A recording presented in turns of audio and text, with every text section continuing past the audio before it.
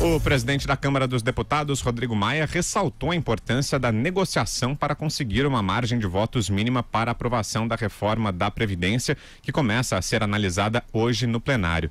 De acordo com o parlamentar, dos 308 votos necessários para que o texto passe em dois turnos, são necessários pelo menos 350 para garantir a aprovação. Entre os políticos, as contagens estão divergentes, enquanto o partido do presidente Jair Bolsonaro e seus membros acreditam ter entre 320 e 340 votos favoráveis, a oposição contabiliza um número bem inferior de 260 votos pela aprovação do texto. Ainda segundo Maia, a intenção é conseguir realizar a votação eleição em primeiro turno, ainda nessa semana, e com sorte a do segundo turno também. Andreasa, começo com você, você que está aí ligadinho na TV Câmara, acompanhando passo a passo, o Rodrigo Maia já está no plenário. Será que a gente tem votação hoje ou não? Será que passa a reforma?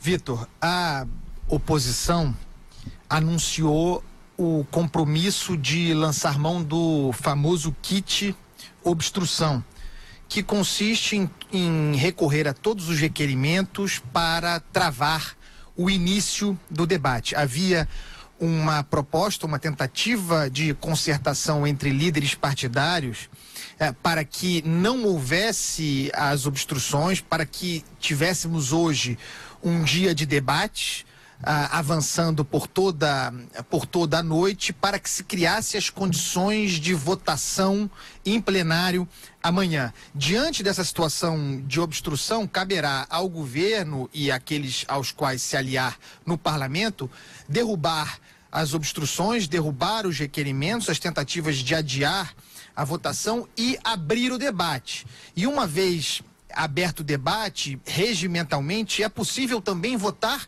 para que o debate seja diminuído, para que falem, se eu não me engano, quatro de cada lado, tenho dúvida sobre esse número, número, mas é uma coisa assim. E uma vez feito isso, se possa partir já para votação. Nesse caso, seria um instrumento que cabe ao governo para acelerar o processo.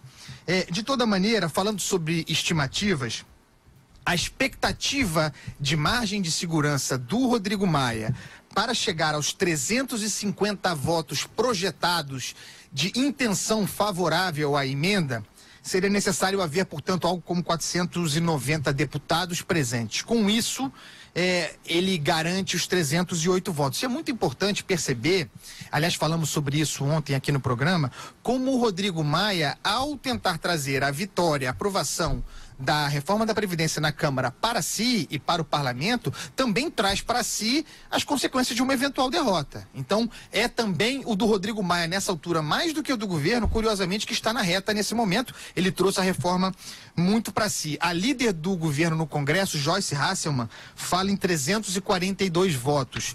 Onix Lorenzoni fala em 330. É assim que nós estamos. Muito curioso relativamente ao comportamento do PSL ao longo dessa, dessa votação que se projeta longa, como se comportará o PSL em relação a destaques e tudo mais. Volto a falar sobre isso na minha próxima fala. Passo a bola aí, Vitor. Ô Bruno, é interessante isso que o Andreasa disse, né? Porque agora o presidente da Câmara, Rodrigo Maia, traz para ele essa responsabilidade mesmo, né? Caso haja uma derrota, caso o texto vá a plenário e não passe, ele vai ter que ser muito habilidoso com relação a isso, com a condução desse processo, né? Exatamente, esse é um ponto interessante. Ou seja, Rodrigo Maia, ao assumir né, o papel de protagonista, ao dizer que é o dono da bola, vai sofrer todas as consequências positivas e negativas do resultado. E aí ele, talvez por isso ele esteja tão empenhado, né, em conseguir esses votos e ao mesmo tempo fazer, ao mesmo tempo que ele faz esse discurso é, como, como protagonista, né, como sendo o grande agente ali de, de influência e de, de, de influência mesmo assim dentro da Câmara para conseguir essa votação, tentando com isso também reduzir o papel do governo nessa história, e a gente tem que lembrar sempre que foi o governo que propôs essa reforma. É, então, assim, tudo que acontecer de, de, consequência negativa também vai entrar na conta dele. Agora, o que eu acho interessante é que outros líderes dentro do Congresso estão é, muito tímidos, né? Eu não sei exatamente se essa é uma timidez ou se a imprensa está com foco quase que todo em cima do Rodrigo Maia, que é uma coisa a ser percebida. Eu sinto falta de outros, outras lideranças dentro da Câmara que levante a voz para ter algum tipo de, de posição definida até para a sociedade.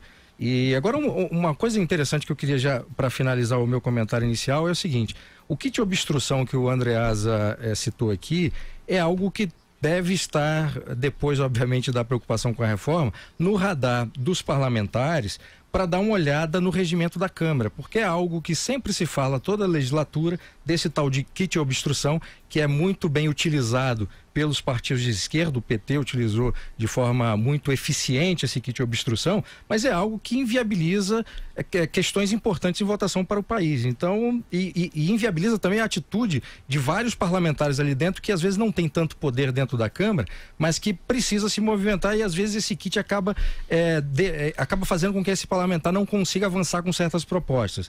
Então, o, uma olhada no regimento da Câmara da Câmara é preciso ser, ser uma olhada precisa ser feita é, para uma eventual mudança depois dessa reforma. Alexandre, parece já uma última cartada da oposição, né? Uma tentativa agora só de ganhar tempo para evitar a aprovação, que a essa altura já parece bem encaminhada, né? É, eu acho que está muito bem encaminhada. É, na verdade, a oposição me parece que sabe muito bem que a reforma vai passar.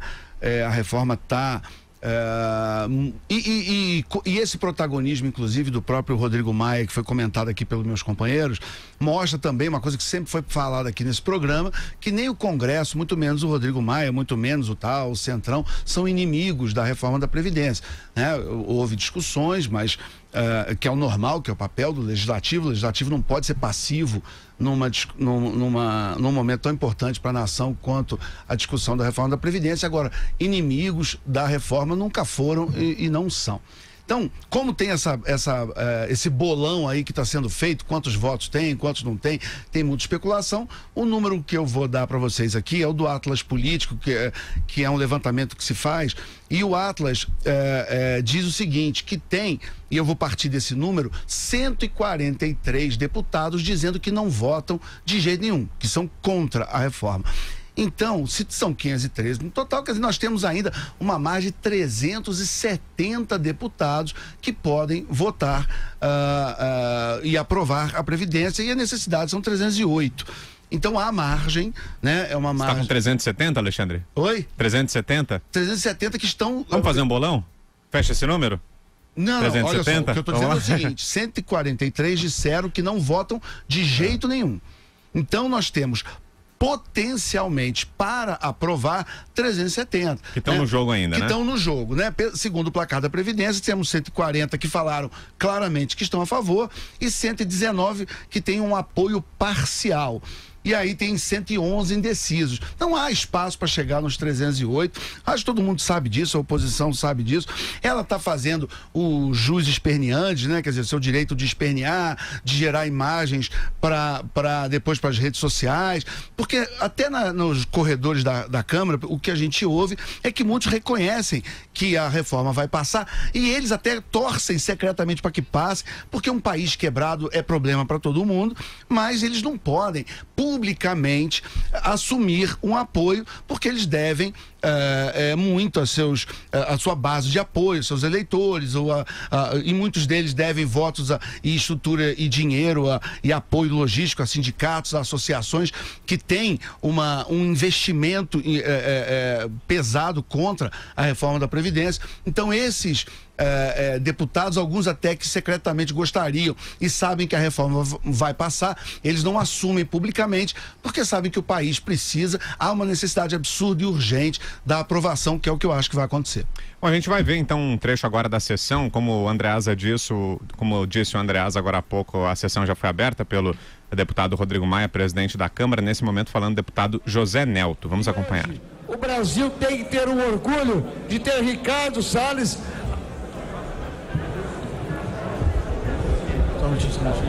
Só concluir, senhor presidente. Concluir. Tem o ministro Ricardo Salles à frente do Ministério do Meio Ambiente. O Brasil precisa de crescer com responsabilidade ambiental. E com ele vai crescer sim, com responsabilidade ambiental. Vai acabar com aqueles velhos achacadores que vivem usando a dificuldade para colher facilidade.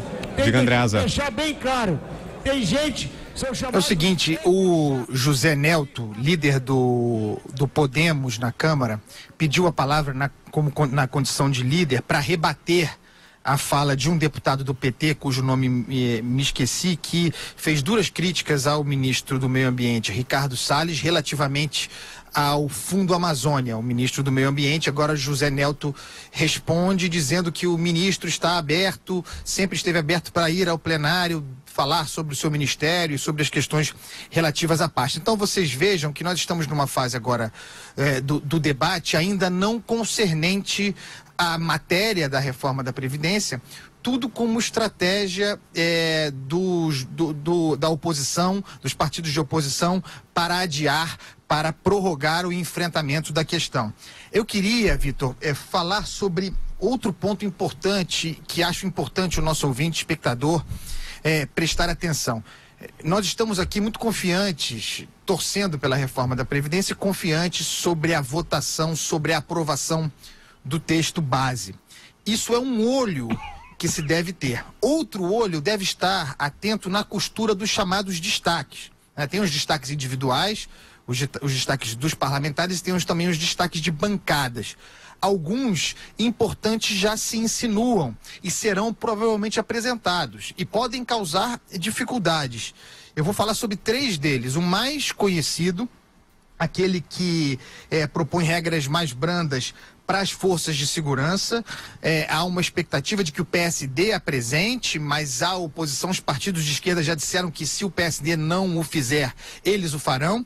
Há, portanto, em relação a esse destaque, é, expectativa sobre como se comportará o PSL, o partido do governo, que tem 54 parlamentares, 22 dos quais é, tem em sua base fundamental as forças de segurança, os policiais rodoviários federados, os policiais federais, é, os bombeiros, etc, etc. Então, houve aquele remanejamento na comissão especial, por exemplo, o delegado Valdir foi afastado, perdeu lugar ali, assento, mas agora, no plenário da Câmara, ele está. Né? Então, como se comportarão os parlamentares do PSL, entre outros, diante de um destaque como esse? Um destaque que uma vez aprovado, portanto, é, criando condições é, melhores para as forças de segurança, é, pode, pode abrir uma porteira para que outros grupos de pressão também se manifestem. Outra coisa que cresceu agora e parece estimulada pelo governo na busca do acordo é a flexibilização para a aposentadoria das mulheres. Também cresceu isso num debate, um destaque que pode surgir. E, por fim, um que o PSB parece se preparar para apresentar relativo ao às exportações agrícolas. É, aquilo que, é, que foi votado na comissão especial é um benefício tributário para os ruralistas, chamemos assim, da ordem de 83 bi, que se pretende derrubar agora via destaque no plenário. São três destaques que estão aí. E eu falo sobre eles detalhadamente, porque é algo a, a, a ficarmos atentos. É, nós estamos falando aí de um impacto fiscal da ordem agora de 900 bilhões, talvez um pouco menos, é o que o relatório entrega mas esse impacto pode ser prejudicado por meio desses destaques. Então, algo a que prestar atenção doravante, Vitor. Ô Bruno, você está aí de olho acompanhando as movimentações por lá? Tem uma informação? Diga aí. Pois é, Vitor. Acho que tem dois pontos importantes aqui. Um é essa coisa dos bastidores, como se tá dando, está desenvolvendo essa negociação nos bastidores. E eu tenho, desde cedo, feito alguns contatos com algumas fontes em Brasília, algumas das quais dentro do, do parlamento, e algumas delas me passaram informações importantes que são que são informações que se complementam. Acho que a principal aqui que me foi passada é a seguinte: que alguns líderes dentro, do, do, dentro da Câmara, né, e aí não é o centrão inteiro, mas alguns dos líderes que também fazem parte desse centrão, é, estão esticando a corda nessa negociação é, com o governo para que o governo cumpra aquilo que prometeu, basicamente no sentido de liberação de emendas. Então, essa negociação está sendo feita nesse momento para que o resultado da votação possa, possa pender para um lado e para o outro. Uh, uh, e por que isso? Porque muitos desses líderes não, não têm uma confiança muito grande no governo e eles temem que depois possam ser, depois da votação, possam ser uh, ignorados e abandonados pelo governo. Então eles querem um sinal eh, do governo né, nesse sentido para restabelecer ou estabelecer essa confiança para a partir daí ter esse voto. O segundo ponto rápido. É, muitos parlamentares é, que já declararam o voto favorável, e a gente é, parece né, que vai ser a maioria, parece que a, que a votação é, será, que a reforma será aprovada, é, internalizaram uma coisa que a sociedade pressionou, ou seja, uma parcela significativa da sociedade brasileira tem se mobilizado para pressionar esses parla parlamentares. Então é um movimento interessante porque a gente está sempre falando dos bastidores da política, porque afinal são os deputados que decidem nessa primeira fase, depois vai para o Senado, mas a participação da sociedade brasileira para fazer com que esses deputados é, entendessem a importância dessa reforma foi fundamental nesse processo. Ô Alexandre, a gente está falando aqui muito já da aprovação, mas em relação ao texto em si, a essa reforma que chega agora ao plenário, qual a tua avaliação? Foi um texto satisfatório? Houve muitas mudanças, né? Mas mesmo assim, para os planos iniciais do governo, você acha que houve aquela desidratação que a gente alardeava no começo, temia que acontecesse ou não? É um texto bom ou não? Não, não houve é, desidratação, não. Na verdade, é, um ponto que a gente bateu sempre aqui no programa, uma, uma coisa que eu falava muito é que uma das que eu acho que toque de gênio que o ministro Paulo Guedes teve foi não falar apenas de reforma da Previdência, que é um assunto antigo do Brasil. Vários outros governos já tiveram que lidar com a necessidade de fazer reformas na Previdência, mas ele ter colado na ideia abstrata de uma reforma da Previdência, ele ter colado o número do trilhão, que era necessário um trilhão em 10 anos de economia. Então, por que, que isso é brilhante? Porque senão uh, uh, ia ficar se discutindo. Ah, é, é, vamos fazer reforma da Previdência, mas qual reforma? E os grupos de pressão, os lobbies, iam, iam ficar mordendo daqui e dali, e, esse, e aí sim nós teríamos uma desidratação. Então, quando o, o, esses grupos começaram a trabalhar, como eles sempre trabalham, contra a reforma, ou pelo menos tentando salvaguardar alguma vantagem pequena aqui e ali para o seu, seu sindicato, para sua categoria, o, o governo e principalmente o ministro Paulo Guedes voltar a falar: olha, isso aí vai tirar 100 bilhões, isso aí vai tirar 200 bilhões, isso aí a gente está perdendo o trilhão.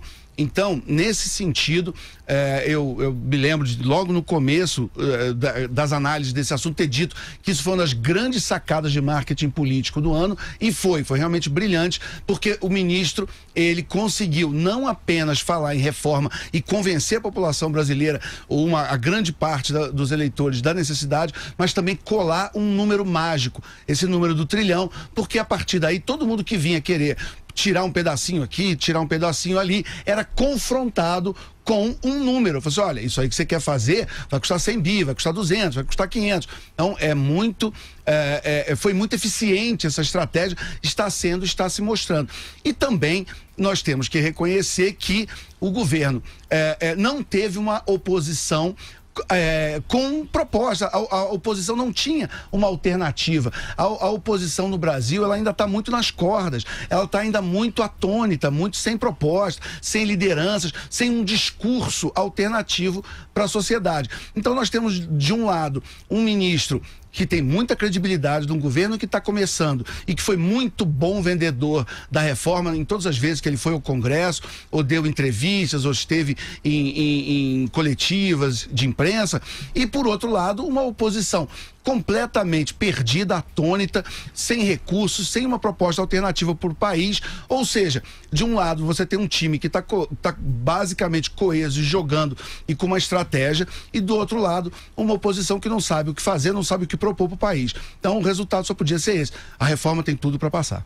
Ô Bruno, você também viu esses problemas que o Alexandre apontou aí, da falta de oposição, de uma dificuldade da oposição de apresentar uma alternativa à reforma?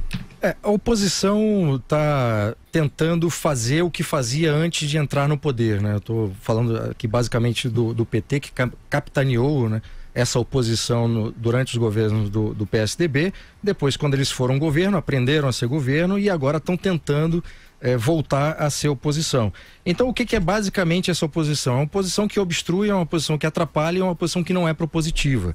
Então, a falta de, a falta de, de propostas não é, enfim, uma coisa, um desvio. Isso é justamente o modus operandi que essa oposição de esquerda sempre fez. Então eles estão se comportando da mesma maneira. E isso tem também uma parte que não só revela a falta de, de propostas, mas também revela a forma como estrategicamente esses grupos atuam dentro do parlamento.